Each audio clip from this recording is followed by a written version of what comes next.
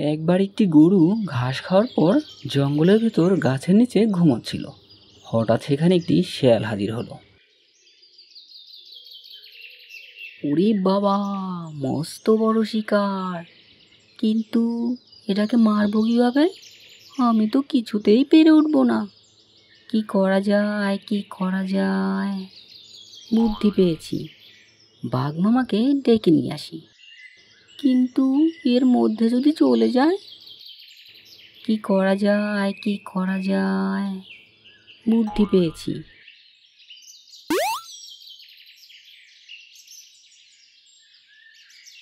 চলো সবাই তোমাদেরকে একটা কাজ করতে হবে। একটু পরেই গরুটির ঘুম ভেঙে গেল আর তখনই সে বাড়ির উদ্দেশ্যে রওনা দিল। রাস্তায় তার সাথে একটি শিয়াল ছানার দেখা হলো। কে গো তুমি? এই গভীর রাতে জঙ্গলের ভেতর দিয়ে কোথায় যাচ্ছ? ভয় করে না তোমার? যাচ্ছি তো বাড়ি। আর ভয় করবে কেন? এখন কি রাত নাকি? এখন তো দিন। দেখছিস না সূর্য উঠেছে। ওটা সূর্য নয় ওটা চাঁদ। শোনো ছোট পণ্ডিত তোমার বোধ হয় এখনও চোখ ফোটেনি তাই দিনকে রাত বলছো। এরপর সে আবার এগোতে লাগল। এবার তার সাথে একটি শিয়ালিনীর দেখা হলো। এই গভীর রাতে জঙ্গল দিয়ে কে যায় রে? বাঘের ভয় নেই নাকি? যার সাথে দেখা হচ্ছে দিনকে রাত বলছে। সামনে কাউকে পেলে জিজ্ঞাসা করতে হবে। খানিক বাদেই তার সাথে সেই শেয়ালে দেখা হলো যে কিনা ঝিমাচ্ছিল। ও হে পণ্ডিত এই ভর দুপুরে ঝিমাচ্ছ কেন? ভর দুপুর? কি বলছো? এখনও তো গভীর রাত। এই রাতে জঙ্গলে পথ হারিয়ে নাকি? সকলের মুখে একই কথা শুনে গরুটি মনে করল তার বোধ হয় কোথাও ভুল হচ্ছে। এখন বোধ হয় রাতই। আর বলো না একটু ঘুমিয়েছিলাম। বোধ হয় রাত হয়ে গেছে। আলো দেখে বাড়ি যাচ্ছিলাম। এখন কি করি বুঝতে পারছি না।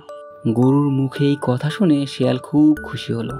যাক গরুটাকে বোকা বানানো গেছে। এখন গুহায় রেখে বাঘ মামাকে ডেকে নিয়ে আসতে হবে। তারপর মজা করে খাব। কি হে পণ্ডিত কি ভাবছ এত? ভাবছি তোমার কথা। এক কাজ করো আমার গুহায় রাতটা কাটিয়ে নাও। সকাল হলেই চলে যেও। এরপর গরুটি গুহার ভেতর শুয়ে রইল আর শিয়ালটি একটি বাহানা দেখিয়ে বাঘকে ডাকতে গেল। এদিকে সন্ধ্যা হয়ে আসলো সূর্য ডুবতে লাগল পাখিরা ঘরে ফিরতে লাগল।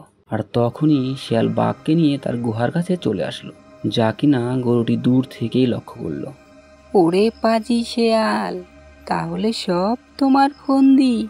দিনকে রাত বানিয়ে আমাকে খাওয়ার চেষ্টা করছ? এখন কি করে বাঁচি আমি?